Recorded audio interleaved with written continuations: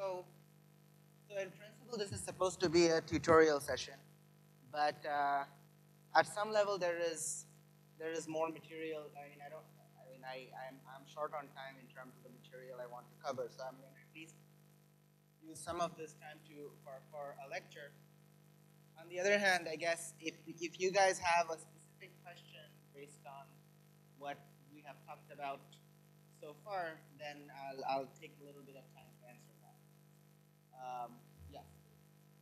Um, so maybe actually one thing maybe I wanted to do first was actually I, I heard that there were I, there were some questions about the pump that I got in the discussion, and I, I uh, the Janendra got some questions about the disorder. Well, Rajdeep asked, and there were some questions that keep coming up about disorder in the quantum Hall uh, system. So let me. I, I thought I should clarify a little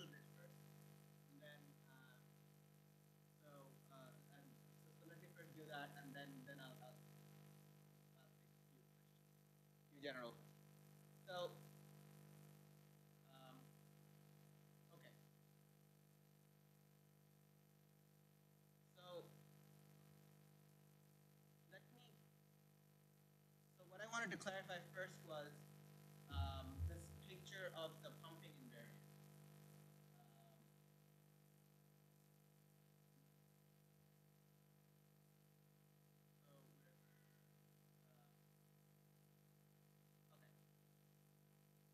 So the state.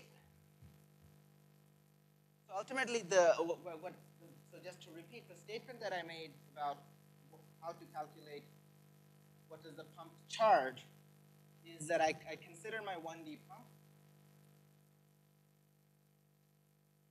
and then I have uh, a, a right reservoir. And if I'm inside the gap, this was this was important. Inside the gap for the 1D pump, so the pump is a periodic is a periodic potential. So it has a band structure, and I choose an energy. I look at an energy inside the gap, so that there there is there's no transmission. Then my reflection matrix is a phase. A reflection is, uh, amplitude is a phase, which depends on time. And uh, basically, the, the charge pumped, I said, was the winding.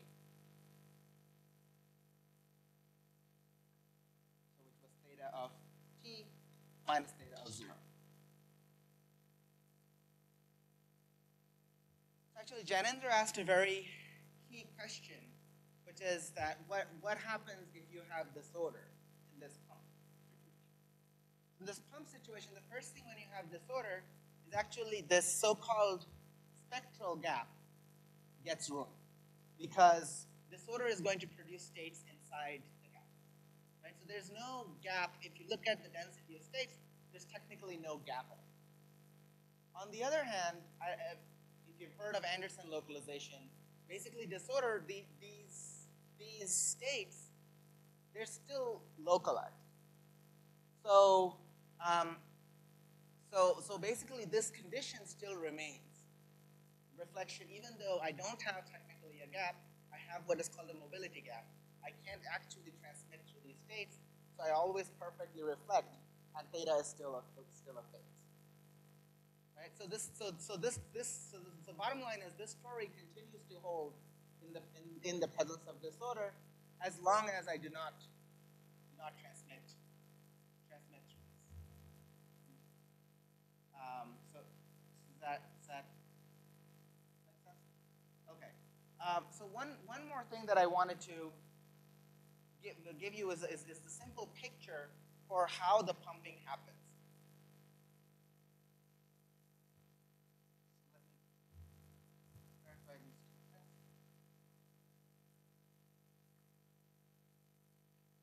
So why, why does the phase, so I said the phase winds. I told you it's a mathematical statement and I gave you Levinson's theorem. But why does this exactly happen?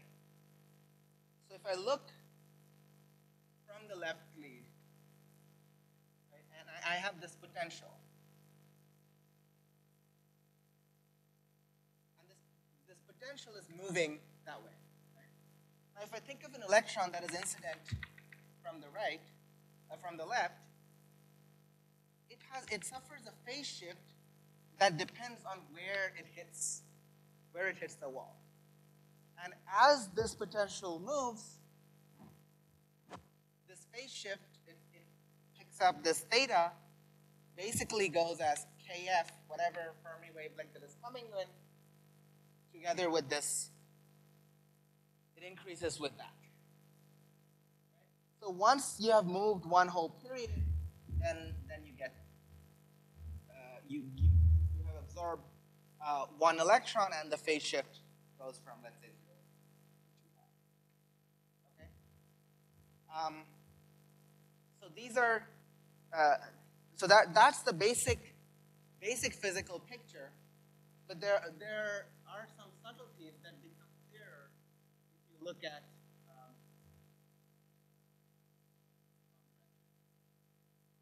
if you look at this spectral. Okay, so what's kf times w? Yes, which is going from zero to two pi as w changes. W is W is this.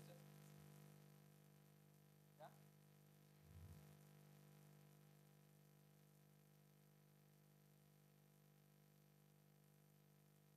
Exactly.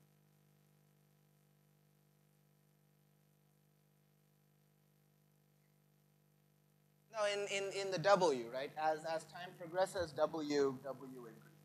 Yeah, W changes. Okay. So now, what? So so what I'm plotting here actually is is a uh, is is a spectrum, assuming that I don't have infinite leaves on both. I have finite leaves on both sides. So I, what I'm just plotting here is I have finite leaves on both sides.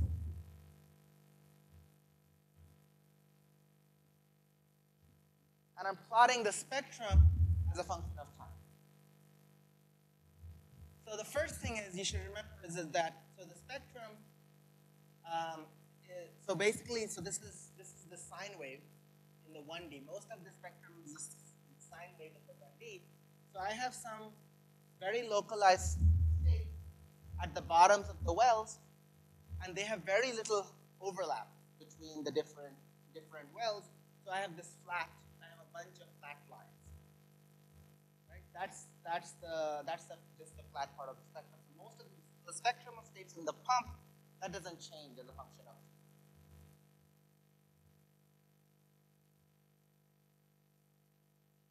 Exactly. It's just on-site potential and they're all, all exactly. There's barely any hopping. Exactly. That's why they're flat. Right? Now, so then what are these things that are dispersing? So at the end, right, at, um, so let me, let me change this. At the end, imagine that what I have is, so I have this potential, and then I have a wall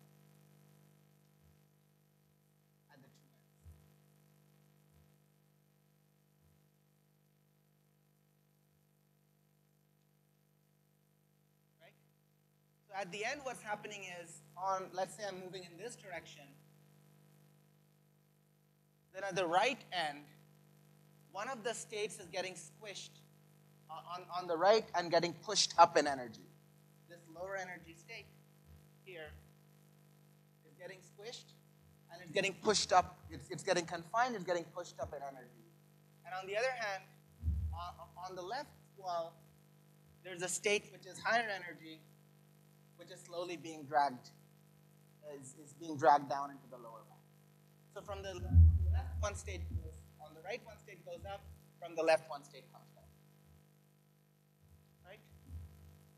So by itself, that, that's exactly that's exactly the story of pumping. What's happening is that you're you're taking higher energy states from the left, and then you're pumping them, and you're losing lower energy states from the right. So if you started with some chemical potential, where, let's say, uh, on the right, so let's say your chemical potential was, was here in the middle somewhere, uh, then the you'll get a state on the right which gets pushed up to high, above the chemical potential, and on the left you'll get a state that gets below the chemical potential. Right?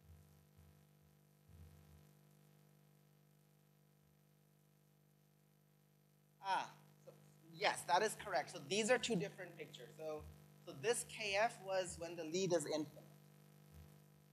But I'm making, I'm trying to, but you can you can view the charge from, either. It's easier to calculate when the lead is infinite, but if you're just doing a simulation, then it's easier to do this one. And I'm saying that what happens is that you're, you're just seeing that a state at low, at, if it's finite, and all you're doing is that states from, on one lead are pushed to higher energies, and from the other lead they're dragged down. And that's the equivalent of this moving electron. from one to the other. Okay. But there's a, okay. But now, um, there's a catch here. What do you think is going on here? Does someone say? What? There's something that looks, there's something that's not apparent from this picture, but if you really zoomed in, you see something. Yeah, exactly. This crossing is not really a true crossing. It just looks crossing. It just looks like a true crossing based on the revolution of the pump. Right? If I make this pump shorter in length, if it were not very long, then you would see that this crossing is actually an avoided. So it's always an avoided crossing. So what this tells you is that for this pump to work, it has to be driven faster than this avoided crossing, so that you don't see the avoided crossing. So, so that was one thing that was. Uh, so this was. So the question was asked a couple of times: Does the pump have to be long, or does it have to be gapped? And the answer is it has to be long and, gapped so that this crossing is, very small. And you have to do it. You have to do it adiabatically, but you have to do it faster than this crossing. Okay. So that's. That was one point that I wanted to make. That, that was, these were the two points that I wanted to make about more questions? So the main point, one point is that disorder is not relevant. Disorder does not. This this this quantization is completely robust to disorder. And uh, the other point is it uh, the yeah and actually another question that was asked. So so you can understand the fate based on the ball, but a, a lot of people were asking what what is driving the current? Is it because it's, it, it doesn't confusing to think that these quasi-particles are actually what are driving the current. What's actually driving the current are the electrons that are stuck at the bottom of the well. Those are what is carrying the current, not not the reflected quasi-particles. And the last thing is for this to work, you actually have to go fast. You have to go slow compared to the to the band gap of the pump. This this gap. You have to go slow compared to this gap, but you have to go fast compared to this. Those are so. Uh, any other questions about this?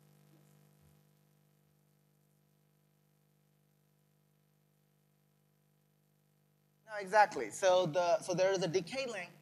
Given given any any band structure, there's there's some kind of decay length for the localized states, and the pump has to be much longer, much longer than that.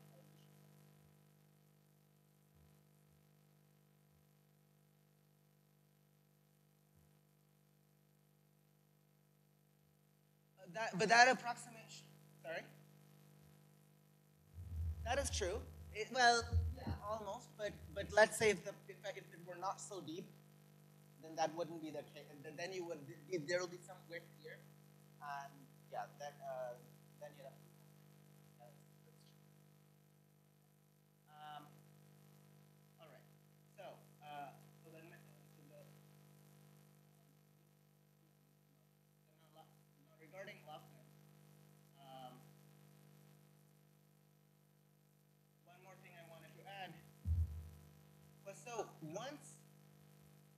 once we know the Thouless pump, then um, then this Laughlin pumping argument for the Corbino geometry is just is basically you just think of it as a one-dimensional system. Think of this. This is equivalent to a cylinder. So you think of th- think of it as uh, as changing flux in a cylinder, and you're just pumping charge along the cylinder. That's the end of the story. That, and and you know based on this uh, this Thouless pump that it has to be quantized. So so that that that was the basic moral of, of that part of the story. It becomes very simple. But now the question that came up was, uh, uh, it was after the end of my last lecture and asked again, is what is the role of uh, right? Why do you need disorder? Because I told you that this has to be quantized. And with Landau levels, you know that the system has a gap. So what? So why? Where was exactly disorder in? So the, the catch is you you want to ask. So if you're if you have no disorder, then there is only and but I remember I demand that this is gapped. So which means that I have exactly um, the number of electrons is exactly like the number of plus They, they're exactly matched. Right? But now I ask myself, but what about the Hall conductivity if I add some electrons? Because if you remember this experimental plot,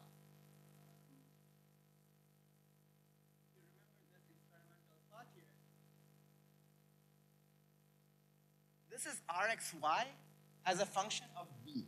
You're varying B, keeping the density fixed. And you're getting like these plateaus. So over these plateaus, uh, the, the number is not, the number does not match the number different from the number of plus as, you, as you're varying. I mean, Rxy is, is, is constant. The Hall conductance is fixed to be an integer, but the number does not agree with the number of one. So what's, what's happening? So that's, that's really the question. If you, if you ask yourself that question, then you would begin to see the role of it. So what's going on is that, uh, so in, according to, yeah, if you, um, this picture, in this Corbino geometry picture, as soon, if I have no disorder, as soon as I add extra um, electrons past the first Landau level, uh, I, I, have, I have a gapless system, and then my, my Laughlin argument would immediately break. Right? So Laughlin argument gives you a quantization of Hall conductance, but only if the density matches the number of electrons. So we have a problem. And the solution to that is that if you have disorder, um, all states are localized. So even if you add electrons past the first Landau level, they go into localized states. And if they go into localized states, again, I told you my Thouless pump is, is robust um, as long as you don't have conductance states. So my Thouless pump argument, Laughlin argument go through and, and everything. That was that was the with disorder, so so you really need disorder to see this plateau. Okay, uh, uh, so there, uh, so okay, so that's that's what I wanted to say. Now, now, now, I I'll, I think it's a good time if you wanted to ask if there was something else you wanted me to clarify generally about what we have been talking about so far. Part. Yes.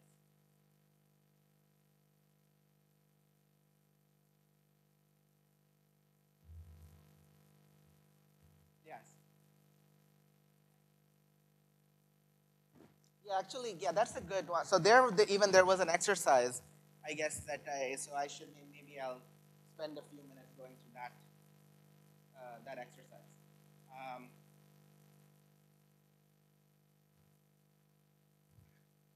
maybe you can help me with it. Thought about it.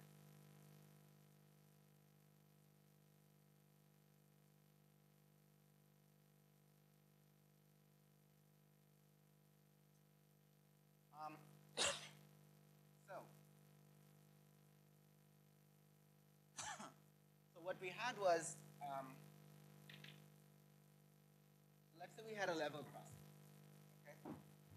And this was, uh, but this was a crossing between two levels as a function of some parameter, let me call it, um, I guess we call it alpha, right? And then there was some state n, and then there was particle hole on n. Okay. So what I wanted to sh- wanted the exercise that I wanted you to go through was that this, this is actually completely protected. So let me first, so, so h is a function, so if I zoom in around here for starters, h is a function of alpha is, let's, let me call this n bar. This is equal to, and let, let's just choose this point, it doesn't really matter, make this point alpha equal to zero. And this is alpha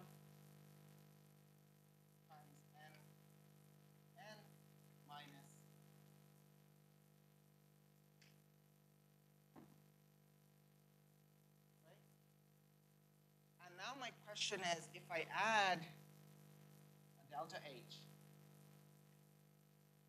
what happens to this crossing? Okay? Um, so for that, we needed to uh, we needed to do two things. We needed to calculate the matrix and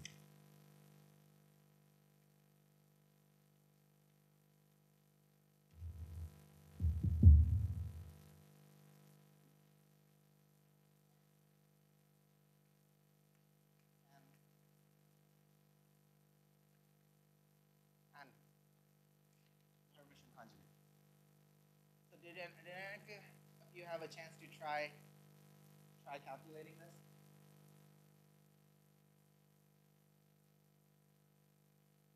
Or, or saying what, what, what, what, what are the constraints between these matrix elements? Okay.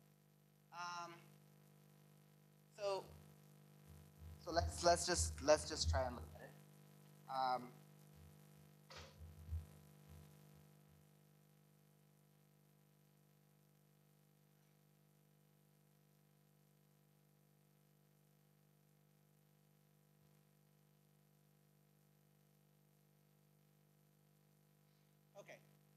that particle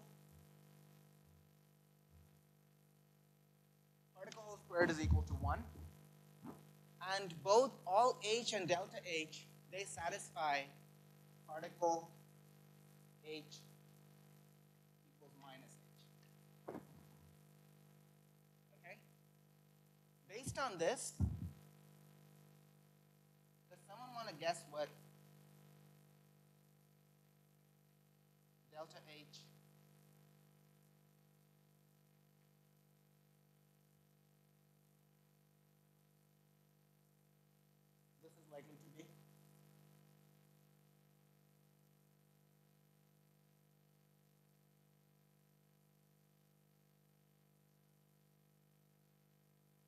Matrix element between the state and its particle conjugate. Right, so you would want to say is?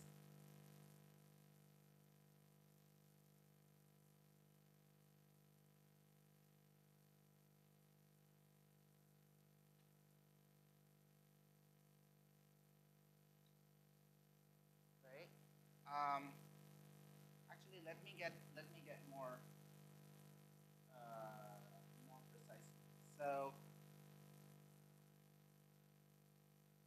is equivalent to saying that let's say my particle hole is tau x times complex conjugation. Then this says that tau x h tau x is minus h star. Right? And um, so if I want to be more careful here, this would say that n delta h tau x n star. n star. Okay, that this means that's the complex conjugate of the wave. And now if I move it over there, and this is saying that this is minus n. If I use uh, that relation, minus tau x delta h star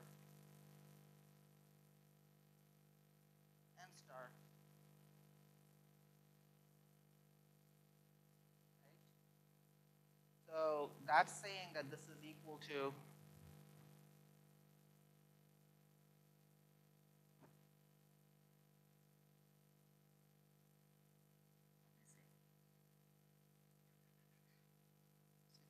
star of the whole thing. And this is minus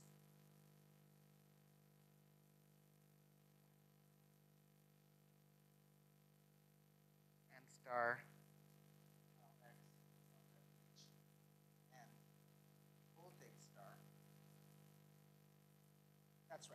And now I can use hermiticity, and then this is minus n delta h tau x n star. So if you look at the first and the last line, last, the extreme left and the extreme right, that told us something about the matrix element. Exactly. So therefore, this has to be equal to zero. Can do a similar exercise, and so this is zero. You can do a similar exercise which says that if this is lambda, then this is minus. Diagonal terms have opposite signs. Okay? So now if you use that, then you ask, okay, what are what are my options then? So my options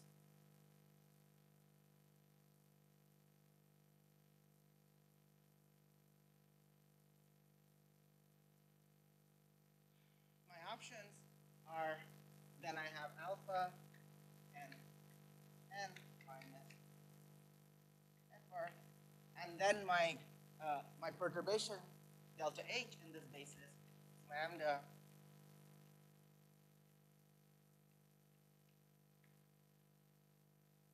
So this just shifts alpha to alpha plus lambda.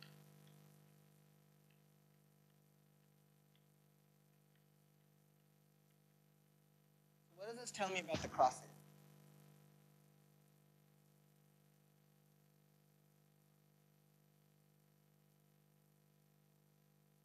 So what will happen? It, it, it shifts. Exactly. It shifts to minus one.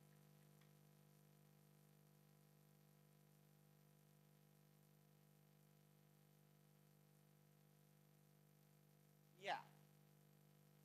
Right. Yes.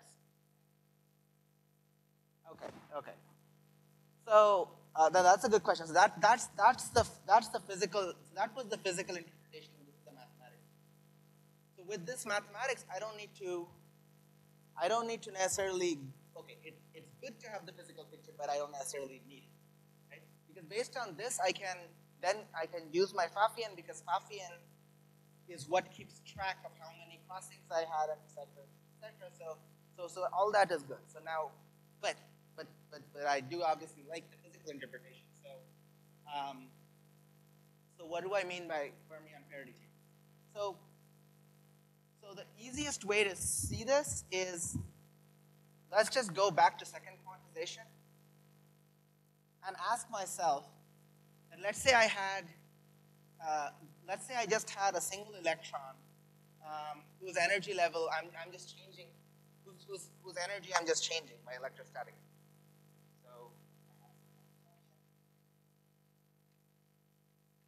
Have some simple Hamiltonian like that, epsilon c dagger, right? And okay, and I ask myself, okay, what happens if I just change epsilon? So then my energy level just moves up right? And it crosses, let's say it crosses zero.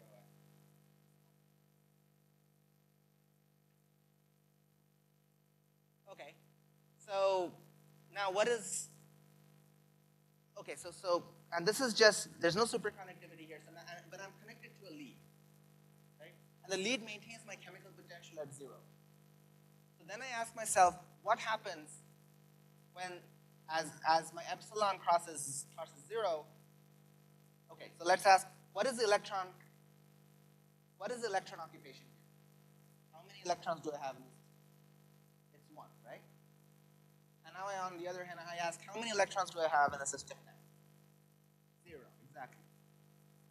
So the number of electrons modulo, so fermion parity here, the electrons used to have an odd number of electrons before, now you have even number of electrons. So the fermion parity changed.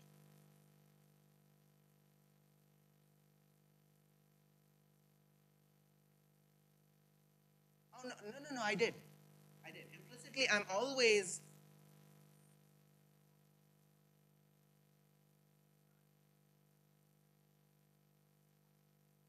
Yeah, that's right. So you're right. So that's a very good point. So in all of this, I am treating the lead in the extreme perturbatively, which means that I, I can I calculate my states and my energies without the lead, and then I only use the lead to fix the occupation of the states. Okay? And so now coming back to the so in BDG, what happens is because I'm looking at this, I'm going to the BDG Hamiltonian version of this is going to I just have an extra doubling from this. But that's just my second, going from second.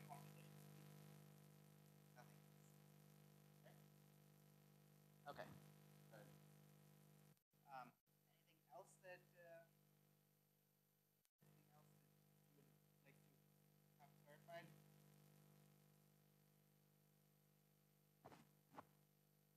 All right. Well, you can always stop me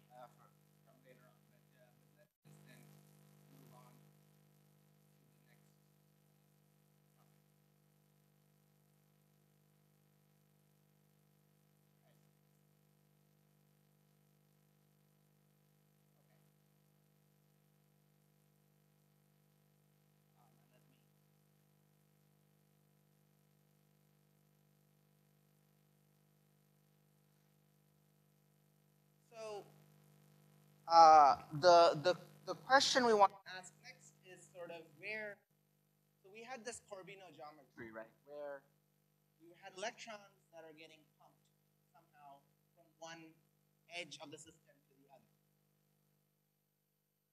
But there's, there's another simple question you can ask is, well, but are there any reservoirs at the edge? What's going on at the edge? How do you even have I mean, in the pumping, in the Thouless pumping picture, there was a left reservoir and a right reservoir. On the other hand, when I did my uh, when I did my Laughlin pump, there didn't seem to be a reservoir. So, so how can this work? Right? So what what was it at the edge that was behaving like the reservoir? This is this is the next question you can ask. So the answer to that is okay. Is so if you go into the classical Landau level start seeing that there's something strange about the edge. So what it is is that okay, inside the bulk, the electrons are just going in circles. They're just in this Landau level. When you get to the edge, there's there's a wall, and electrons can't complete the, the circle. So there are these what you call what are called skipping points. And what's special about them is if you look at it, it's it's like the electrons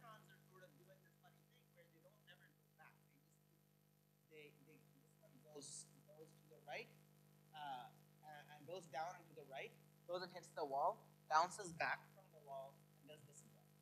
So it keeps bouncing along the wall and moving in one particular direction. And that's like this. That, that's what's going to turn into like the so-called edge states that move in one direction.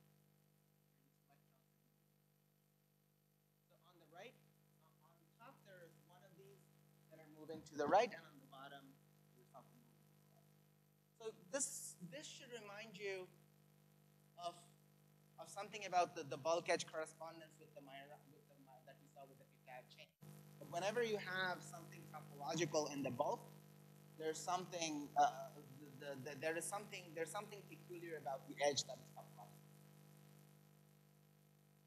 So um, so you have these okay, so you have these so it's this this this cartoon picture suggests that you have this some kind of chiral. Alright. So now let's let's try to look at the chiral edge state a little, more closely. And this is the Hamiltonian that Jainendra wrote down for the Landau level. Uh, Py squared plus hk minus by 5 uh, so and then some flux and then uh, by. Um, I, I, I, didn't follow you guys' tutorial. Did you guys wind up solving this Hamiltonian or uh, by yourself? Okay.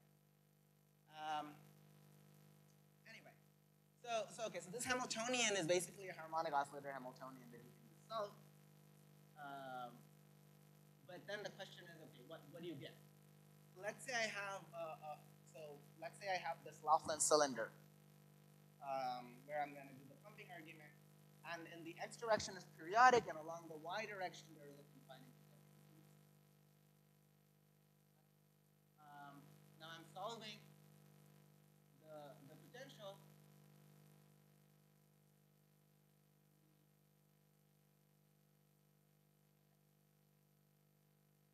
Ultimately, we get this. So let me let me pretend this is slow. So this is tutorial, uh, well, tutorial-ish, and there's supposed to be a tutorial, that let me just go through solving solving that equation.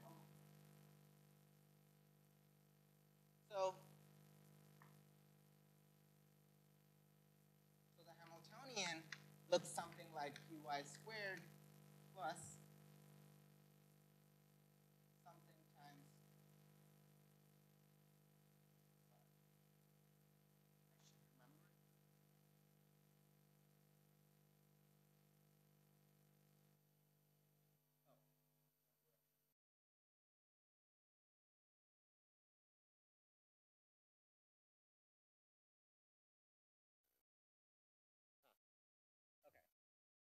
kx minus by squared plus vy. Okay? So, so okay, so this, this Hamiltonian looks like a, a, a harmonic oscillator, but because of the vy, that makes it not, not trivial to solve. On the other hand, I can, I can focus in, let's say I have some confining potential, take this here to be, to be some, let's say I'm, if I'm near the edge, I can take it to be linear.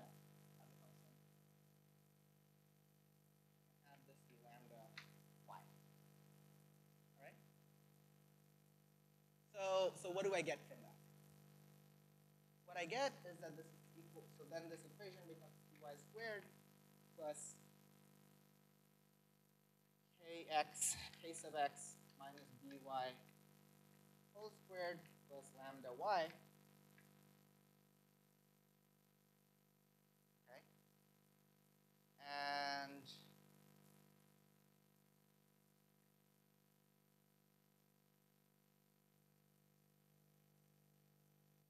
then, um, so then I can write this as qy squared plus.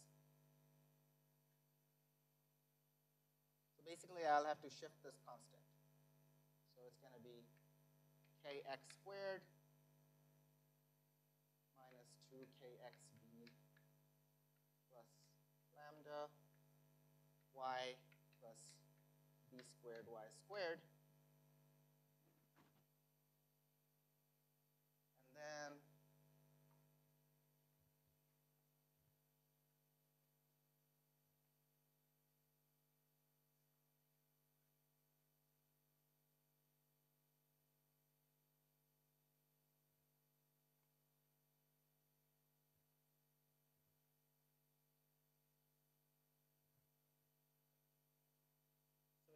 Be a shifted harmonic oscillator. So it's going to be qy squared plus some beta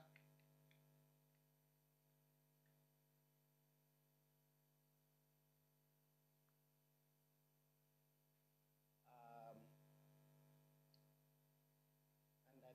this beta is basically kx plus lambda over b.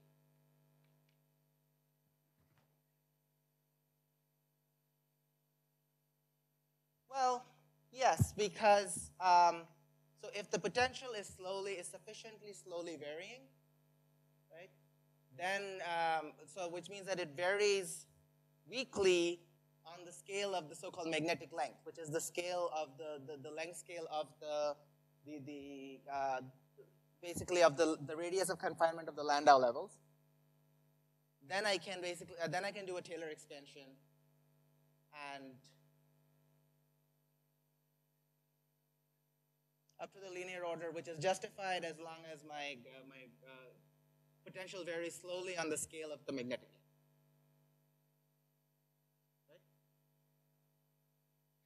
Okay. Actually, since I'm here, let me just rewrite this a little bit. Qy squared plus kx squared minus 2b kx plus lambda over b y plus b squared y squared. Okay, and then if I take that here, then I'll have a term which is plus kx squared minus kx plus lambda over b squared. Okay? Now I focus on this piece. So this is lambda squared over b squared minus 2 lambda kx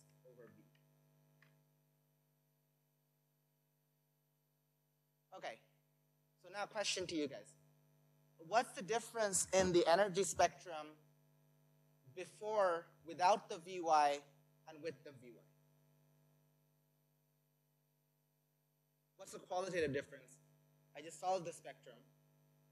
Sorry? There's a constant shift. But okay, that's that's kind of boring. That doesn't constant shift doesn't do doesn't mean very much. Uh, well, B is fixed, but there's there's one term here which is not quite a constant. Lambda times kx. So my energy as a function of kx is some constant which was the cyclotron frequency plus this, some shift, minus 2 lambda b times kx. So what is that? What is a constant? What does what what does a lam, linear in kx dispersion mean? Yes, sorry. Yes, velocity. So it means that, so this is, so, so just to come back here, I have an energy which, uh, ener which I have an energy which depends linearly on k, but that's kx. That means it has a constant velocity to one direction, to the left or the right.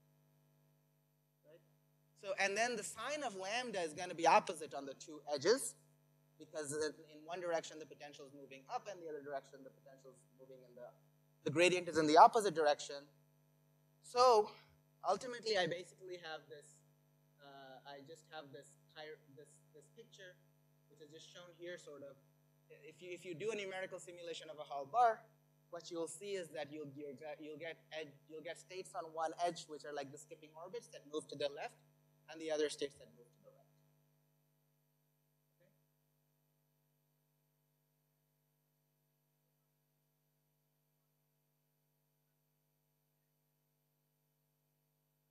Yeah. Um, then, unfortunately, I don't really know how to uh, solve that problem. Um, actually, maybe if I were smart enough, maybe I would. But yeah, I just don't. Um, I just am not. So, but again, but you can do it numerically.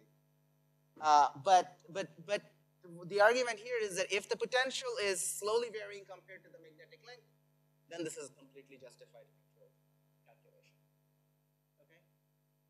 Okay, so that's so that's so that's one key, I guess, uh, take-home message here is that the quantum Hall state and many of the topological states that we will see in higher dimensions.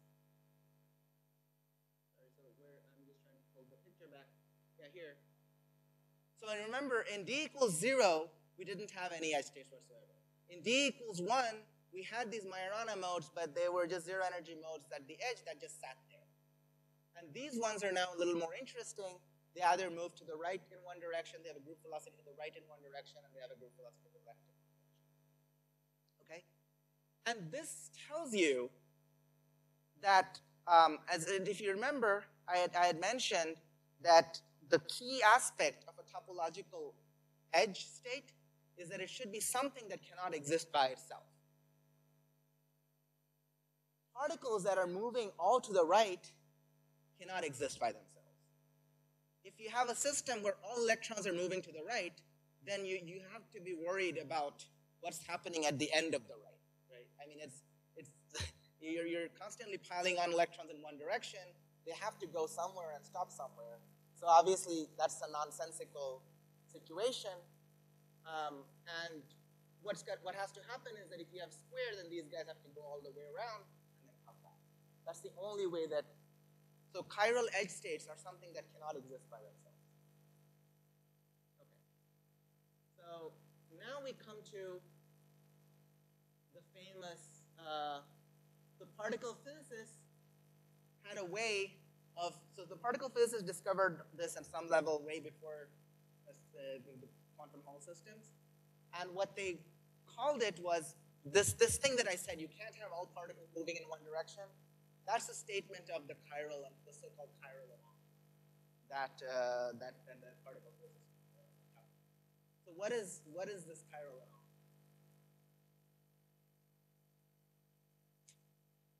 So to see what this chiral anomaly is, you just ask, okay, I have states that are moving and I have states that are moving in one direction. E is equal to, um, sorry, I forgot, uh, e, e is equal to, I have states with this uh, dispersion, linear dispersion, right? Now I put the system in an electric field, constant electric field for some time. Then what should happen? Well, uh, it's a constant force. So momentum should increase as a function of time proportional to E.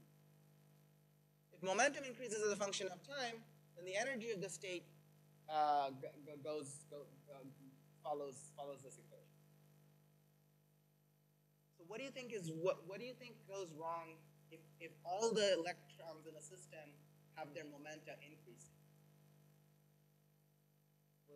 With fermions, why would that worry you?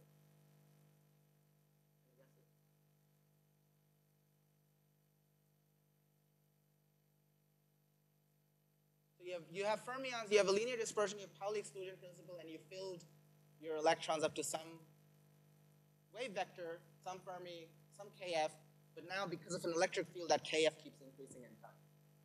What's, what, what's the bad news about that?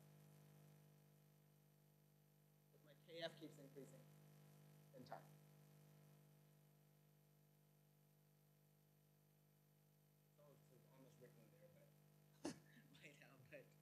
I still like to hear it from you guys. Well, Yes, so KF is related for, for any kind of fermionic system, KF is related to the density of fermions. So if KF is increasing as a function of time, that means density of electrons is increasing as a function of time. But but electrons can't just show out of show up out of nowhere, they're supposed to be conserved.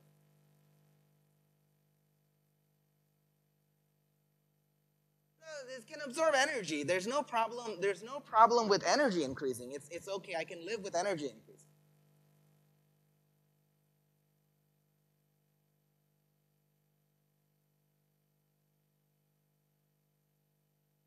Okay, that's a good point. So why?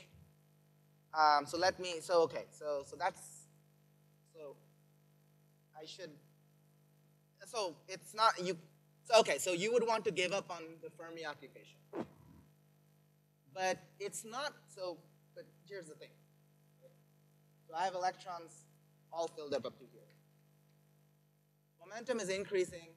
This fella moved up. This fella moved up. This fella moved up and so on and so forth.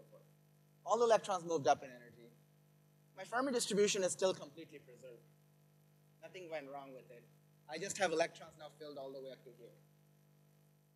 Ah, the bottom. The trouble is that if you have perfectly linear dispersion, then there is no bottom. So this is, so yeah, so ultimately, yes, it has to do with the bottom, and that's what particle physicists call the, the regularization. And the trouble is that anomalies are not consistent with, with the regularization. So ultimately, this gets resolved. So okay, so let so before I go into the resolution, so yes, as we agreed, the, the anomaly is that if you just take a linear dispersion, you calculate the changes. KF is still related to density, at least naively, if you're not worried about the bottom, if If you just look at here, then density is related to kf, no problem, and the density just increases with, with electric. So that's, uh, that's, that's your so-called chiral anomaly. But, okay. Um, so, so this is bad news, except as was mentioned, I have, I have a bottom and then I have another edge, thankfully, in a quantum Hall system. So I have electrons piling in on the on one edge, but they're coming out of the other edge, so ultimately charge is conserved. And so, um, so that's again the so so the way the particle physicist would put it is that a chiral edge cannot exist by itself because it has a chiral anomaly. There is a response that you can so you have a conserved electromagnetic field, uh, you have a conserved charge, and there's a there's an electromagnetic field, but you can do a funny thing with electromagnetic field that makes it, the charge effectively go up on one side or go down. Um, so therefore, it, but charge is conserved, so you have a paradox, and this paradox is resolved by having pairs of, of these states. Right? So that's your uh, that's that's that's your chiral uh, uh, chiral anomaly, but it just goes with the same thing. Now, again, this should remind you of the pumping argument, the, the Laughlin pumping argument as well. It's almost exactly the same thing. You have two edges, and this electric field that you're applying is not very different flux. So you just pump charge from one to the other. Okay? So, so the bottom line of the story is that you your your Landau levels, when you can find them, give you chiral edge states, which have this uh, this, this chiral anomaly. Okay. Now the last bit, what I want to talk about is actually something that Jainendra mentioned. Um, there is a th- th- there's a Landauer approach to see the so-called Landauer approach, or another way to see the quantized Hall conductance from the edge states. So what you do.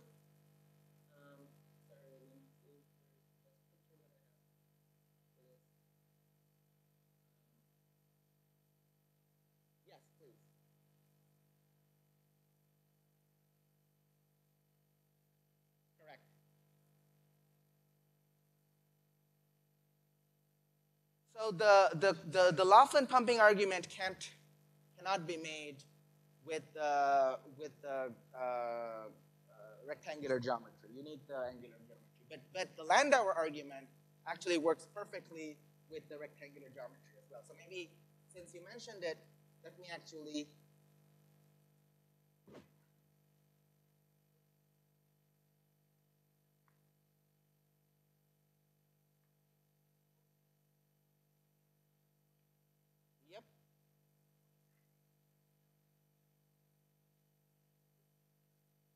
No, but you see, the, the trouble is that in in uh, the, the trouble with the rectangular geometry, the good see the nice thing about the trouble with the rectangular geometry is that there is no easy way there, there is no way of changing a vector potential in a way which is equivalent to applying electric. This this process is not not easy. But but but you're right. So what I'm going to tell you right now is exactly sort of what you're saying is how do I view um, how do I view uh, um, uh, uh, uh, sorry, how do I measure, how do I view, measure Hall me- measurement in a rectangular geometry? And what I'm gonna do is I'm gonna add one lead here, let me add a couple of leads, so two, three, four, okay? And then I have chiral edge state that is going like so. All right? So now, um, so, so I have one rule, which is that for the chiral edge state, the current, it has a fixed velocity. So current is equal to velocity times uh, the density of the density of, of, of particles.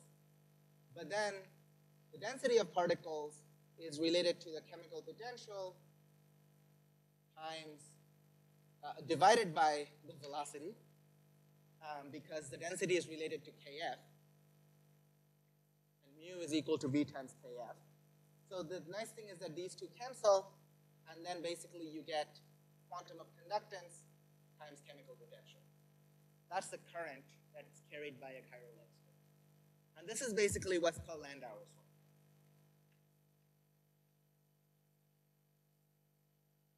This is actually, I guess, one of the first notions of quantization. Something that is quantized, you get this quantum of conductance, and it's basically this amazing thing where the velocity and the density of states, they, they exactly cancel.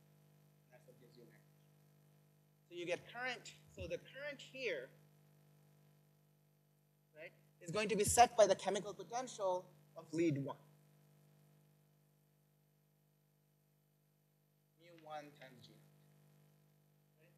Current here is mu naught times G2. The current here, uh, oh, sorry, mu 2 times G0, thank you. Yeah, uh, the current here is mu 4 times G0, and the current here is mu 3 times G0. Okay? So now I want a situation where I have no, uh, so I'm, I'm, I'm applying, I'm applying a hall voltage. So yeah, I want to apply a hall voltage in this direction. This is, this is just a technicality of the Hall measure. I want to have a, a chemical potential difference between V2 and V4 so that I have some Hall voltage. I can have a voltage difference between this, but the main rule that I have is that I want my uh, perpendicular current to be zero. So I want mu 3 to be equal to mu 2. Because I want this current and that current to exactly cancel. Because these are voltage probes, they do not, they do not absorb any current. Right? So this is the part of the four probe measurement. But I can have some current that goes in, in, in this direction. Sorry, let me make sure I'm not screwing something up here. Um, mu 3 is equal to mu 2. Okay, that's fine. So, so then, um,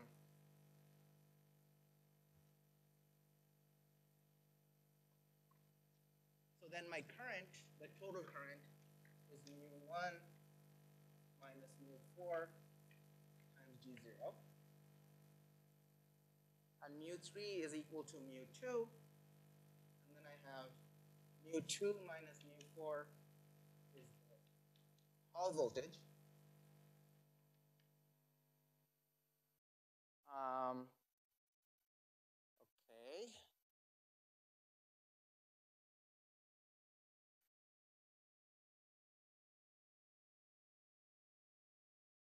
Let me just quickly think. So, okay, so sorry. I have a source of current here source of current here.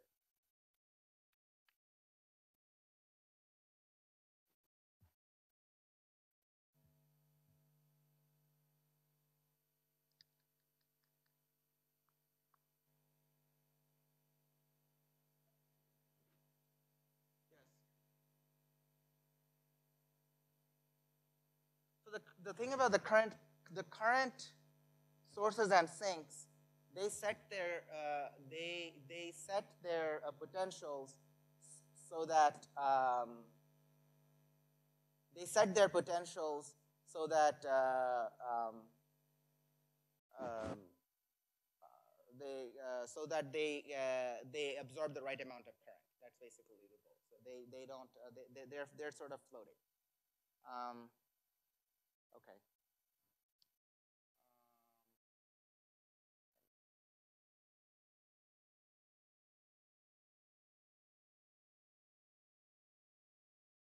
No, so two, uh, so two, so two cannot absorb a current. The rule is that two cannot absorb a current, and um, because it's a voltage probe, and I guess let's see, maybe three cannot absorb a current. That's that's the rule. So I guess that forces mu three and mu four to be the same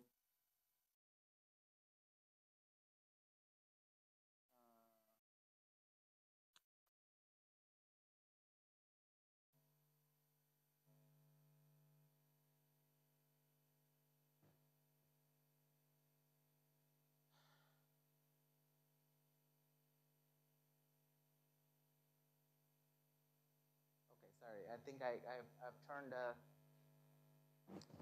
with this four probe geometry, I've turned the problem needlessly complicated. Let me, let me make this, uh, okay, so this one, this one has gotten me confused. So let me just, let's just look at this formula. So the, so the simple way to interpret this is to just say that I have, so we agree that current is mu one minus mu four times G zero. Uh, mu one is basically the, the, the voltage. So mu one minus, so mu one is the voltage on this, this leg of the system, on the, on the horizontal top leg, and mu four is the, is the, is the voltage on the, or, or the potential of the lower leg. So mu one minus mu four is just the transverse voltage. So this is really the, should be the Hall voltage. Okay? And you get a longitudinal current and with, with the quantized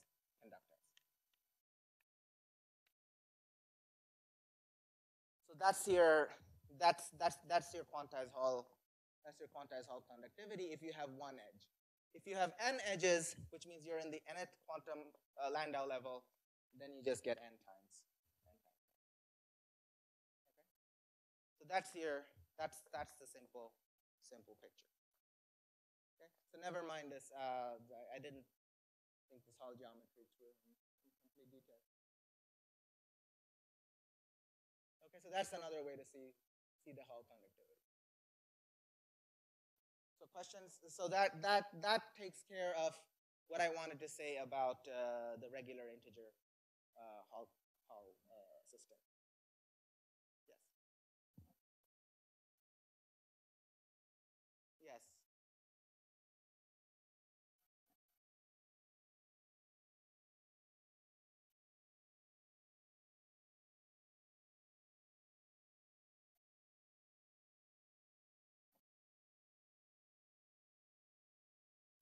No. So this is away from the transition point.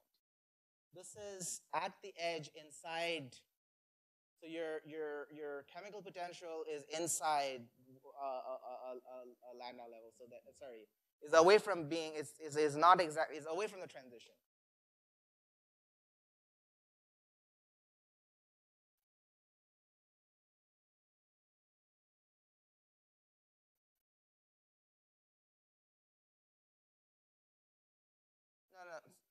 Sorry. So there, so this is the number of edge states. Um, and the number of edge states in the, if your, if your chemical potential is between the nth, in, in, in the bulk in between the nth and the n plus, okay, let's first talk about the clean system. Between the nth and the n plus first uh, Landau level, if your density is in between those two, or your chemical potential is between those two, then you have n chiral edge states. So between first and second, you have one chiral edge state. Between second and third, you have two chiral edge states, and so on.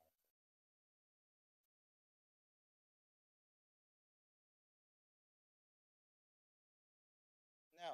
Um, the so the statement that people usually make is that when you when your chemical potential approaches what would be called the Landau. So okay, so let me. So when it approaches the Landau level transition, so let me draw a picture for the Landau level transition. So if I plot the energy spec, the density of states for, actually let me not do it that way, but do it this way.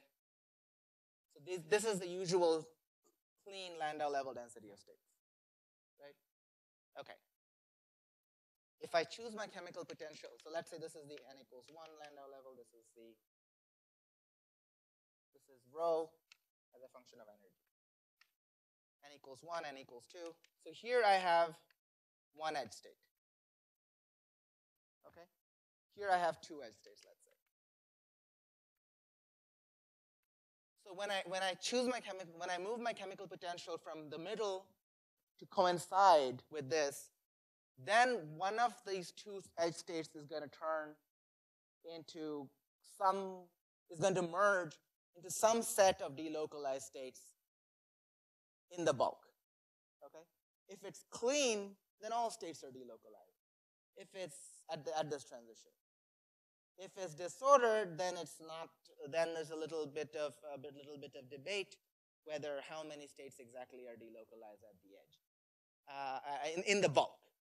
So it's a question about the bulk, but there's no. But but when your chemical potential is away from this point where the bulk is gapped, there are n chiral edge. There are two chiral edge states there. There's no.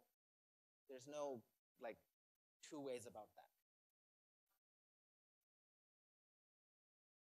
Exactly. It is possible. Well, yeah, because it's just that. So this one edge state, um, when when when the energy hits there, then basically it, it just delocalizes into the in, in the clean picture. It just delocalizes into the bulk. That's actually the, the simplest case is the clean case where everything is delocalized and it just goes into the bulk. Um, so there's there's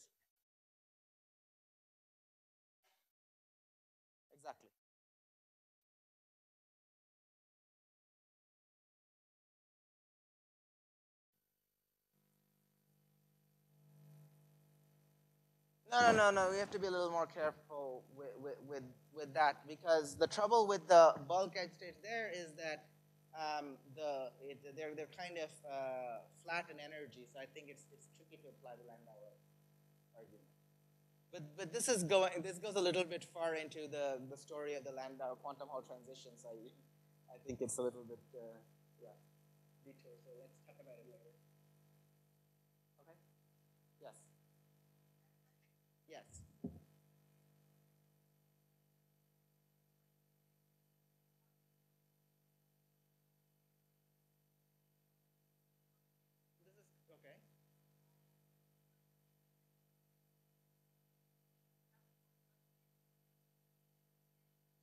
That's what I'm, right. But again, this this is all quite subtle because you have a bunch of degenerate states. So you you constructed states in one gauge, but uh, but you have actually an infinite uh, degeneracy that to make superpositions in.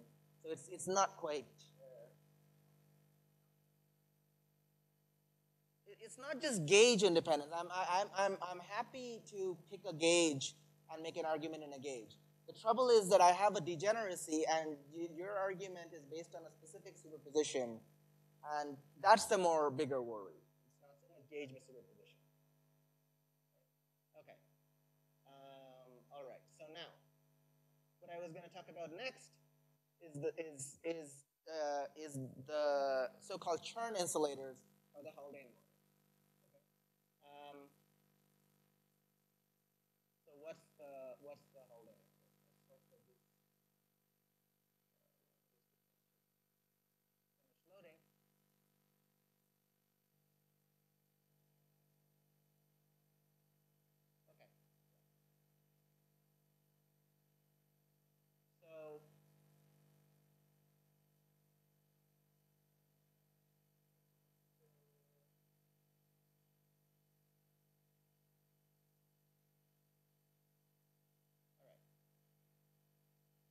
So what uh, the the question and, and the reason for talking about the Haldane model, it used to be a relatively um, Haldane's paper was a relatively uh, not, not well-known paper or ignored paper.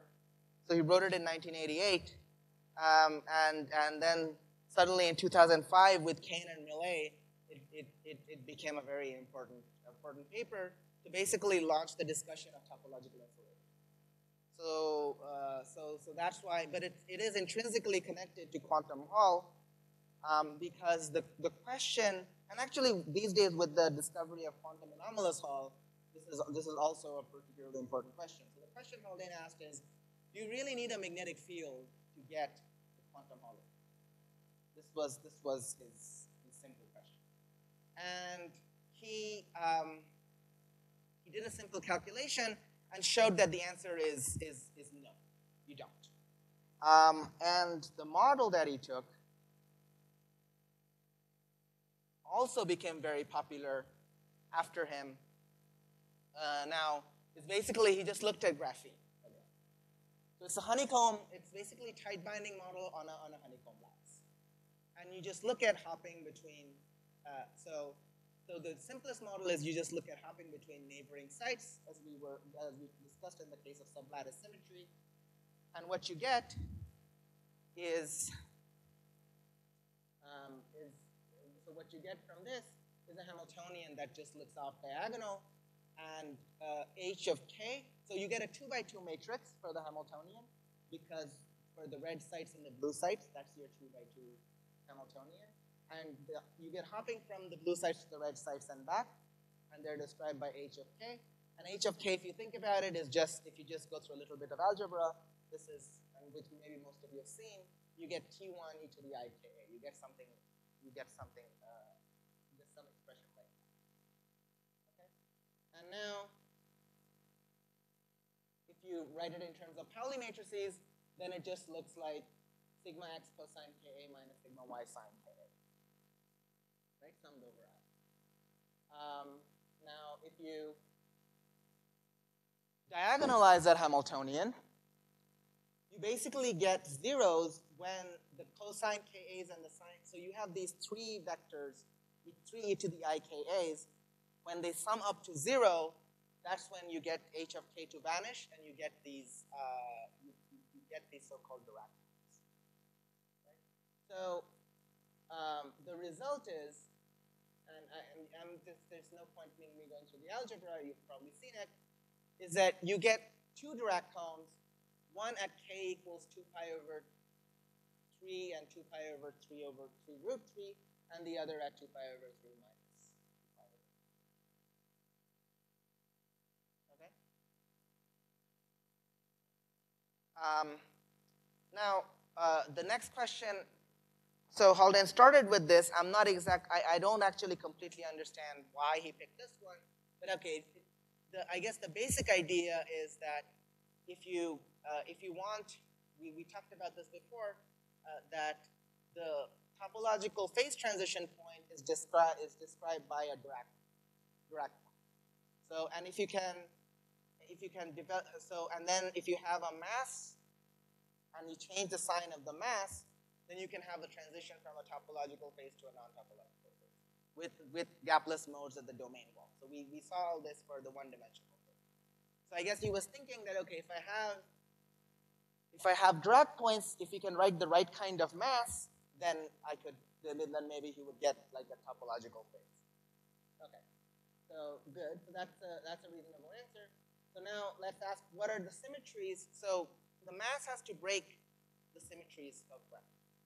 And the important symmetry that has to be broken so the question is, okay, let me ask you guys, what, what symmetry do you think you really have to break to get chiral edge states that move in one direction? Okay. Good, inversion, and one more thing needs to be broken. Time reversal, right? Because you have particles that are, so there are two things. They're moving clockwise and not counterclockwise, which means that inversion there has to be, there's a fixed, there's a particular, going upwards is different from downwards because you're going clockwise. And you have time reversal, obviously, because the particles are just literally going in one direction. Right? So, so you have to break time reversal and inversion. So you need some mass that does that. Okay, so there's, so the symmetries of graphene are the chiral symmetry we talked about, Commutative sigma z, and this time reversal. So we need to get rid of that. Okay. So the first thing that you might try to do to, to write a gap in, in, in graphene is to just write, so you had sigma x, sigma y in H naught k. So you say, okay, I add a sigma z, then my, my X spectrum would look like this. It's gapped, so maybe this is good. But then you think about it a little more and you realize, oh, this preserves time reversal. It breaks inversion, but it preserves time reversal. So this is, this is, this is useless. Right? So you need something that breaks time reversal. That, that was Haldane's second try, and he wrote down this Haldane mass. So now what he did is he picked something that breaks chiral symmetry. Um, so it, so actually, if you look at it, this is what he picked. So you had the blue sublattice and the red sublattice, right? and the, the original graphene Hamiltonian hops only inside, uh, only between sublattices. But he said, okay, let's just pick like hoppings that hop within the same sublattice. blue to blue and red to red. And if you do that,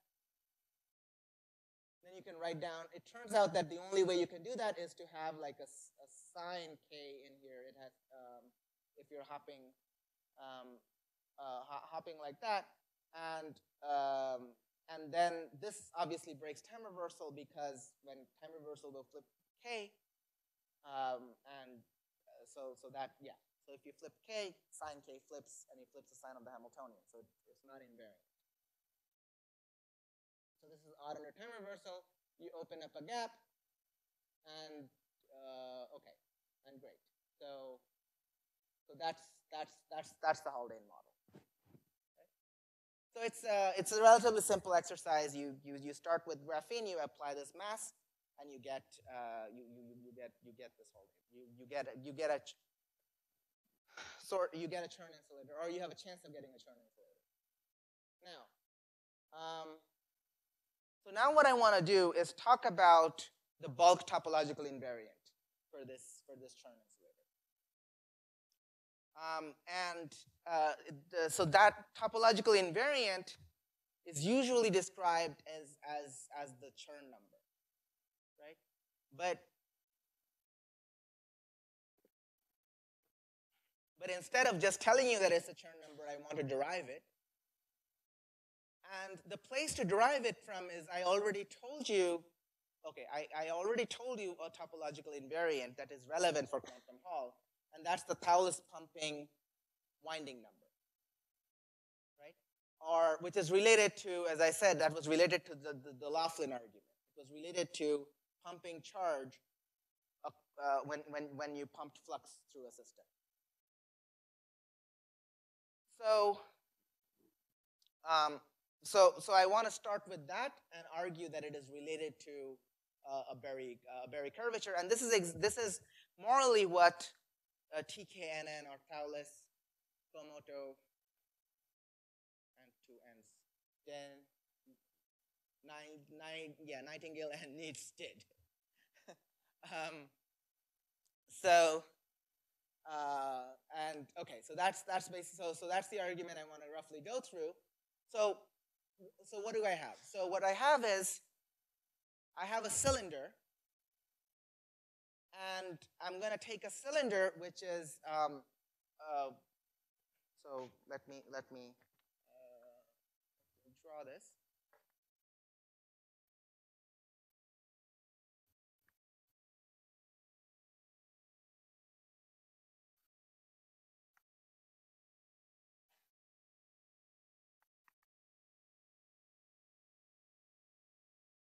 I have a cylinder.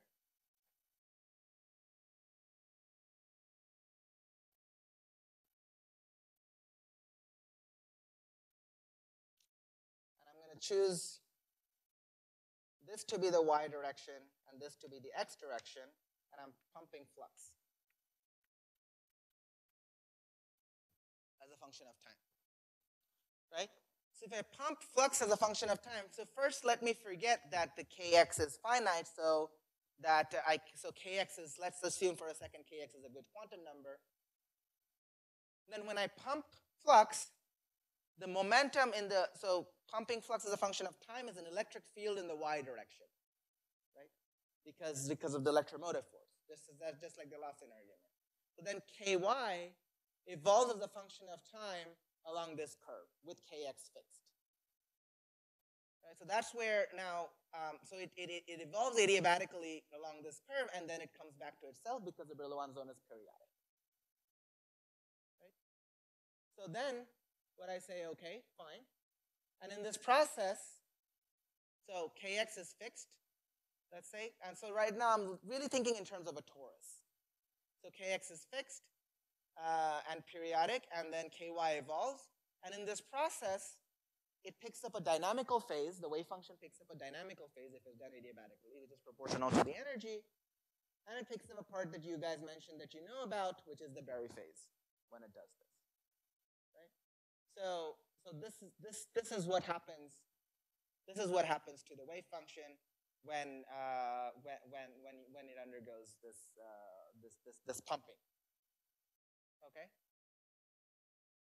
Um, now, what I'm going to do is say, okay.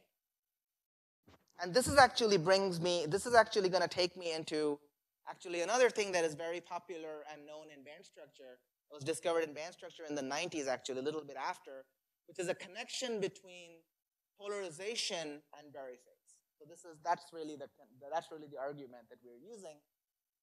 So what I'm gonna say is that this, this Berry phase that we're gonna write down is gonna be related to polarization. So why, why is that? So let's see. So first, so now let me start, let me instead of starting with uh, a Bloch state, let me combine these kx Bloch states and form something that is localized on the cylinder at one point. So let's say it's some combination here. Okay? Um, okay, and then what I do is I evolve, I time evolve this, uh, this, this state by pumping, by doing my charge flux by one, by one period. Okay? And, okay, and then I get, I get something like this. I get a Berry phase and I get a, I get a dynamical flux. Now, the good thing about this dynamical flux, it's kind the, the, the dynamical phase is that it's annoying, but at least it is uh, 2 pi, it's just, it's just simply 2 pi period. It's, it just comes back to itself after, after one winding. But this fella, this Berry phase, in principle, when I change kx along this, uh, so the Berry phase is a function of k for each kx. When I change kx by 2 pi, it doesn't have to come back to itself. It comes back to 2 pi, it, it 2 pi times, uh, it can come back to itself up to an integer. Only e to the i of the Berry phase has to come back to itself when, when we go through the, when we go, when we go through the whole Brillouin thing. So um, if I, okay, so now, now I, I, so there's this one step where I have to use a degree, uh, I have to use some, uh, my, so the fact that the flux pumped ultimately does not depend on the, the dynamical energy. So the dynamical energy is there, but it doesn't depend on it. I can, as long as I don't close the gap, Laughlin's argument tells me that the charge pump will not change. So finally, what I conclude after that, and, and this is the step I'll actually skip is a subtlety, but after I make, after, after I conclude from there, then what I get is that this, this state, which started at n, moves to n plus w. Where w, where 2 pi w is exactly this, is how much the Berry phase changed when you went across the Brillouin?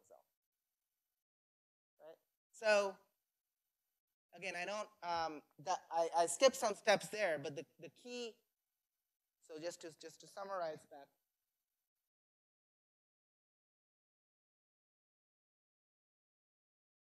I had this function in terms of uh, uh, a torus, right? So, uh, so uh, if, if, I'm thinking about pumping, I have a Chern insulator, and this is the Brillouin zone of a Chern insulator. It's just periodic in 2 pi in both directions. I have a cylinder, and then when I flux, when I thread flux, I change ky as a function of time, and it goes around, goes around this loop at a fixed kx. But then if I have to ask what happens to a wave packet that is localized somewhere in there, uh, then I have to integrate over all kx. And the final conclusion, if I look at how the wave function changes in time, I find that it changes by, uh, basically it shifts by w, where w is the change in the, in the Berry phase when you go around, when, when, when you change, uh, you go all the way, right? So is that statement clear by itself? Okay. All right. Now, how do I calculate this quantity? That's where some nice trick comes. So there are some, you can use Stokes' theorem. So let me just quickly, so that's actually a cute application of Stokes' theorem. And since we're talking about topology and all this stuff, we really can't escape the story of Berry curvatures and, and Chern numbers and so on. So let me quickly go through it and it's simple. So the Brillouin zone that I was talking about was a torus. And let's say this was my, this direction, this tangential direction was y, and then this direction is x. Or, sorry, it's ky, and this direction is kx. Okay? Um, the very phase Berry phase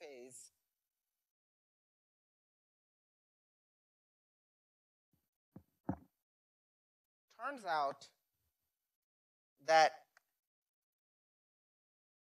if I have a continuous wave function, u, which is a function of k vector, right?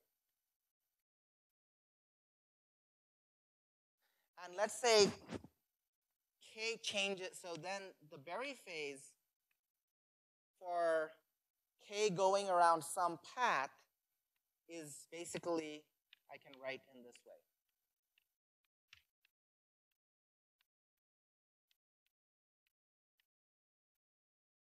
Dotted into the direction that I'm, I'm going. And, and why is this? This is just because e to the i gamma, this is the same as saying e to the i gamma is the product of like I start at point K0, go to K1, then K1, go to K2, and so on. And then I come back to K0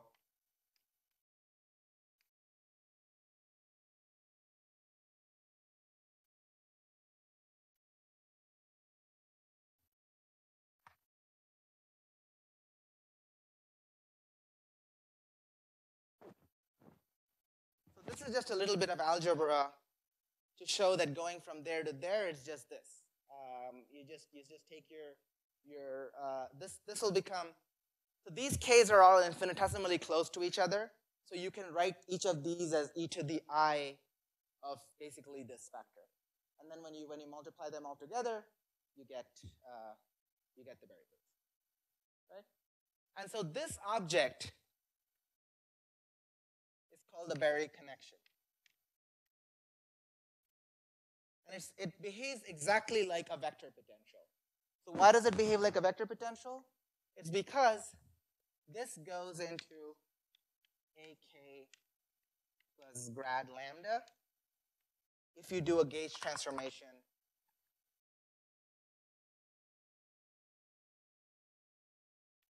if u of k goes into u of k e to the i lambda k. Right? So it has the usual sort of your you, it has the usual gauge invariance properties of your of, of your vector potential. Right? Any questions so far? Okay. Um, yeah, I mean this is unfortunately a little bit little bit technical, but it's cute and important. Okay, so now because this is, this looks like an integral of, so this then looks like an integral, integral of a dot dl.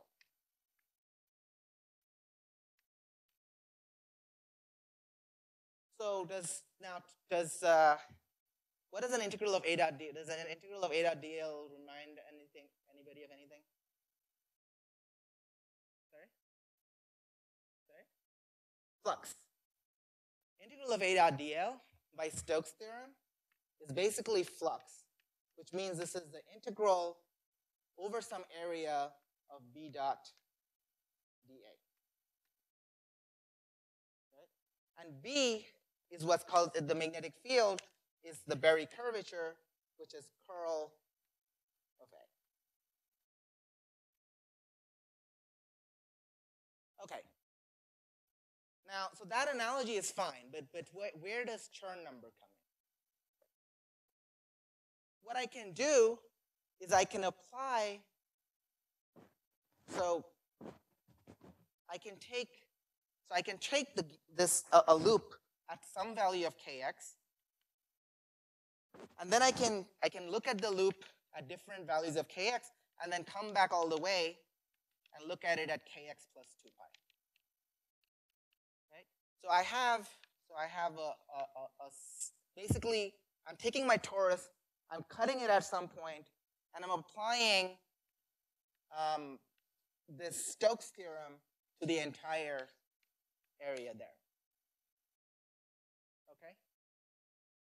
So what it tells me is that, so uh, if I apply Stokes theorem, then I basically get the integral of a dot dl along this loop minus the integral of a dot dl along some other loop. And it tells me that k at gamma at kx plus 2 pi minus kx. This would be what you get from integral of a dot dl. This is equal to integral of, of the Berry curvature over the entire cylinder, over the, over the torus. And the nice thing about the Berry curvature is that it's a gauge invariant object. You don't have to worry about which gauge you calculated, what, what phase convention you pick for u as a function of k. Okay? But as I said before, but the Berry phase has to be well defined up to an integer, so this is 2 pi times w, that's fine, and this is the Chern number.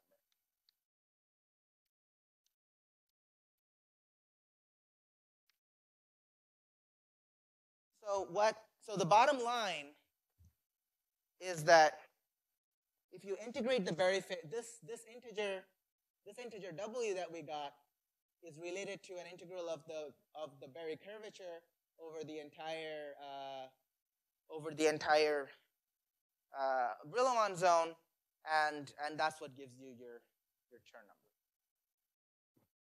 Okay. Um, sorry. What? So what's just a second. So what's the deal with the time? Okay. So Shubra said I could go till six. I have ten minutes. I hope that's okay. I'll take that. Um, okay, so so we're at uh, we're at. Okay, so I'll so anyway, so that sort of tells you how to calculate these things. So in the in the remaining minutes, instead of instead of telling you how how this, you can actually go through and work out the Berry curvature for uh, a Dirac for a Dirac gap closing and see how when the mass changes sign, when you get a gap closing, that's where you generate your Berry curvature. That's, that's an elegant exercise. But, uh, but I'll actually just move ahead um, because I, I want to, um, yeah. Let me just start telling you about the quantum spin Hall effect because it is at least closely, it's, it's closely related and um, I don't want to have to rush too much through tomorrow. Okay.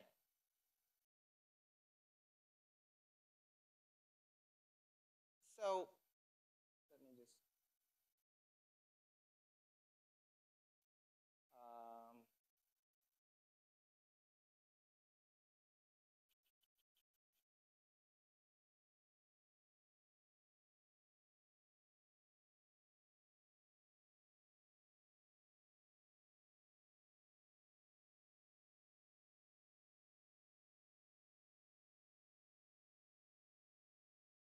so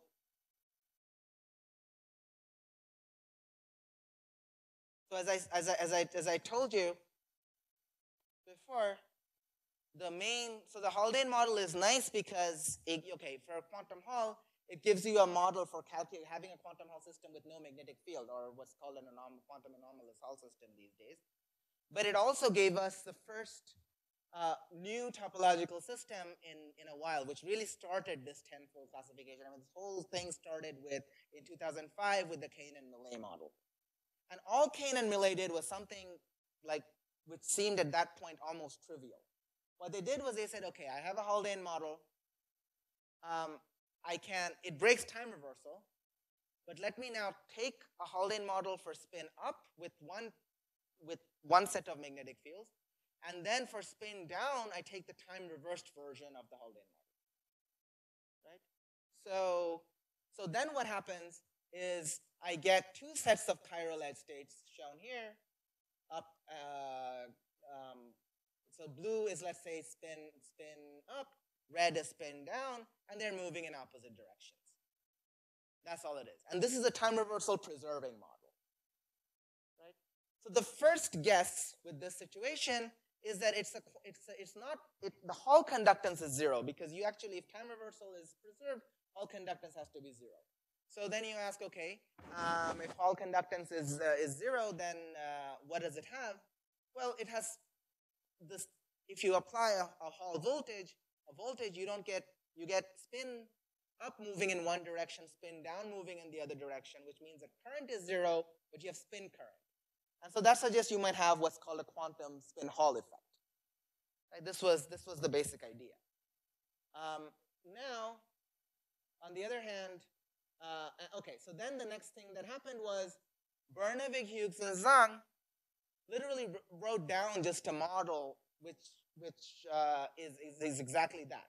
So for spin up and spin down, they're time reverse of each other and um, and so and then basically each of these things was a two-component um, uh, was, was was basically a Chern insulator. So it, it, it's basically a Dirac.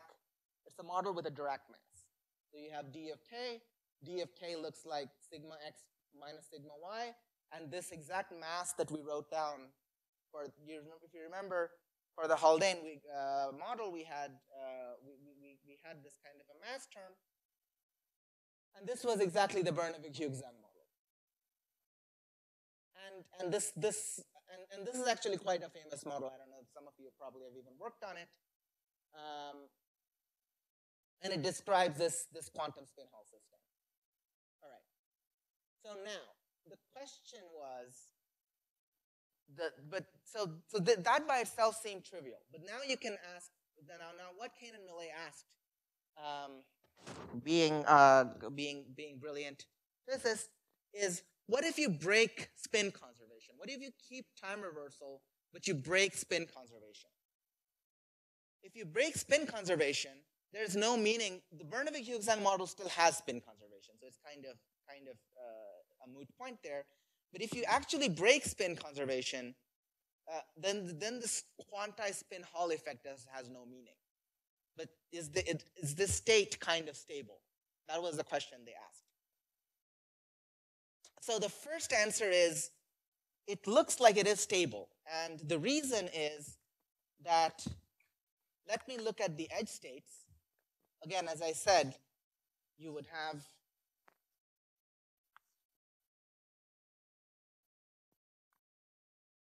you would have a pair of edge states, I cannot label them as spin up and spin down anymore. But I cannot open a gap here. This crossing point is protected.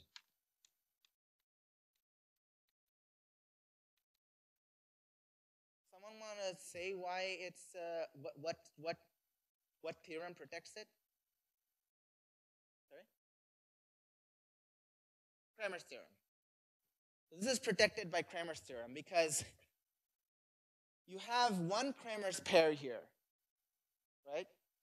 It's, so these two states are related to each other by time reversal symmetry. It's a Kramer's pair. If you try to open a gap, then you'll have a situation where you need two Kramer's pairs. So you, you, well, no. Then if you open a gap here, then this state and this state can't be Kramer's pairs of each other. So we have a, they'll, they'll, they'll be different energies. So this is this this gap protection is protected by time reversal. So then they asked, okay, what is what what is the property that protects this? And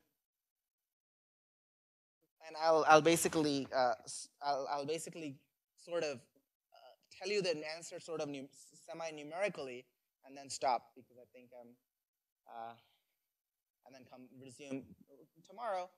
Um, if you look at, so if you, if you put the system, if, if I do the same thing that I did before, so the Laughlin argument again, and for two-dimensional systems, this is always a fun thing to do. I have the Laughlin argument, but this time with quantum spin Hall, and I start threading a flux. So the flux basically changes the momentum of the system. And I have a spectrum that looks like this. And what I see is when I, when I thread um, to uh, half a flux quantum, right? One state gets, uh, I get one crossing right, of, of, of, of, of the spectrum. And you can, you can try to argue this. In, in the trivial case, you get two crossings, and in this case, you get one crossing. So what does this really mean, that you have one crossing? So if you think about it, um, the fact that you have, so if, so why, why, firstly, why am I pumping half a flux quantum? The reason I use half a flux quantum is because that's a funny flux quantum where it looks like I have a magnetic field and I've broken time reversal. But on the other hand, if I apply time reversal operator, then it flips the sign of the flux, but if it, because it's half a flux, it comes back to itself. It's, it's equivalent to negative of itself, right? So it's like pi, but pi is equivalent to minus pi by 2 pi. So it's, it's, a, it's a time reversal invariant flux, half a flux quantum.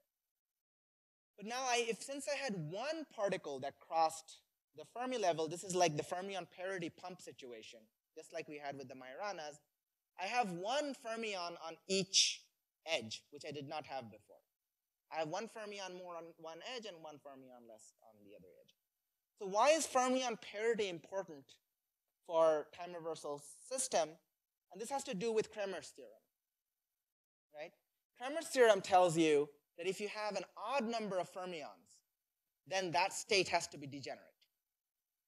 So what you're getting here is, so when, when, when this comes, when this fermion comes here, not only, so when I do this flux, actually, uh, I have a, a state and an empty state. So I have an electron on the edge, which is just sitting there, does not know whether it should be spin up or spin down, it's degenerate. And uh, on the other edge, I have the same thing. Okay, so, uh, so, so the bottom line, and yeah, okay, so I'm right on time, uh, is that the quantum spin Hall system is characterized by a property that if you, if you take this, if you put half a flux quantum, so let's say you start in a system which has an even number of electron on each edge, so there's no Kramer's degeneracy. The system can manage to almost open a gap and be happy there's no exact degeneracy. You pump a flux quantum, and now it's suddenly very unhappy. It's got a degeneracy. There's, there's one electron that's flop, flop, flopping around. This is kind of like the Haldane model, actually. I don't know if for those of you who remember, the, the peculiar thing about the Haldane model is that it's, it's a spin one model that's gapped in the bulk, but at the edge there's an effective spin a half degree of freedom which can point up or down, and it's just sitting there. And this sort of tells you that you, you can make a you can start with a not Haldane model and go to a Haldane model or something like that, right? Okay, so I think I'll, I'll stop there for the quantum spin Hall system um, and, and, and, and take questions if you guys have any. All right.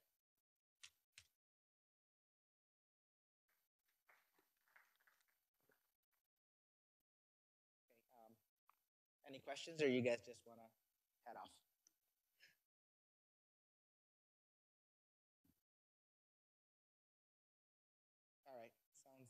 Yes. No, no, please.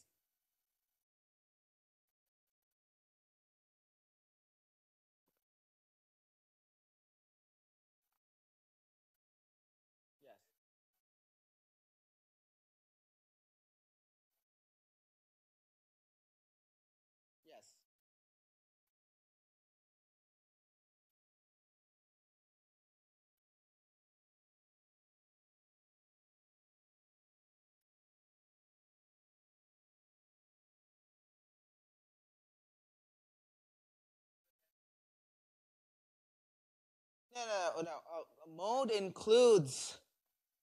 So mode means not just the one, not so when you count modes, um, it's basically all the states that are related are, are a different kx.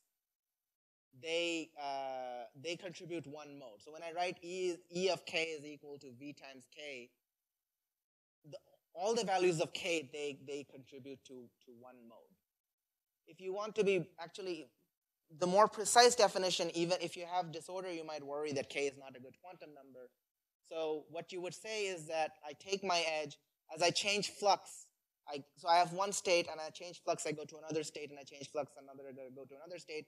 All these states that are connected by adding flux, they're, they're one mode.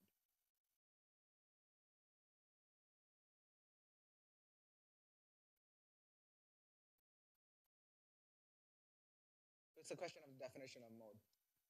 But yeah.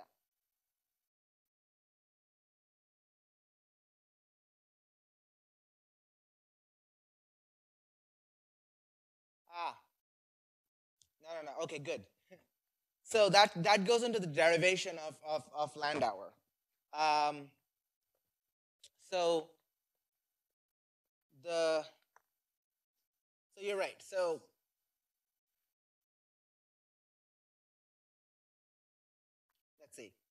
So the current is basically equal to so e, so I guess what you're saying is that you're actually asking why, why does Landauer formula make any sense?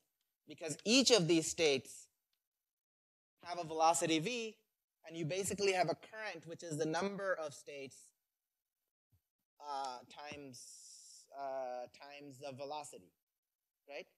But you have to be careful also that each of these states are local, are delocalized over a length L. So I have to, when I calculate the current, I have to make sure to uh, to, to, to divide by, by L, right? Because this, it's, it's psi star psi and there's a normalization factor. So let's say the psi, so basically the, so I, so how do I get this formula? I, my current operator is something like psi star grad psi minus complex conjugate, right? And psi looks something like e to the i kx, but it's divided by square root L. So if I plug this formula into here, I get 1 over L, and the grad gives me a K.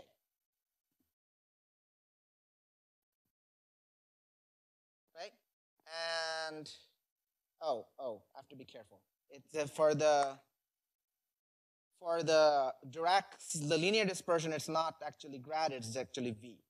So it, I just get V over L. So it's N times V over L. And this combination is the number density. And then I had the situation that uh, number density was mu times mu divided by v and times g naught, and that's how I got the Landauer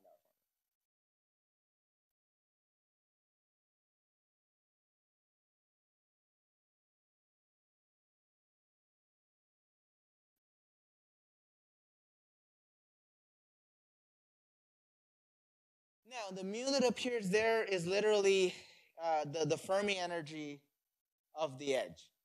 So that's the strange thing about, the, about looking at one chiral edge. It looks like the current only depends on one chemical potential and not the other. So it seems like if I raise both chemical potentials, I should get a current. But that's counterintuitive. It seems like you would, you would expect that you need a voltage difference to get a current. That's, I guess, what's bothering you. But what happens is that because you have two chiral edges, one gives you a current that's related to one voltage, the other gives you a current that's related to the other voltage, and the total current is the difference of the two voltages. So it works out.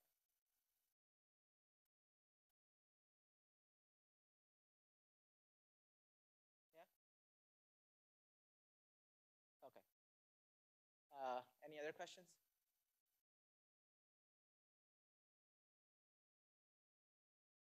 Okay, if not, you guys should go and have fun.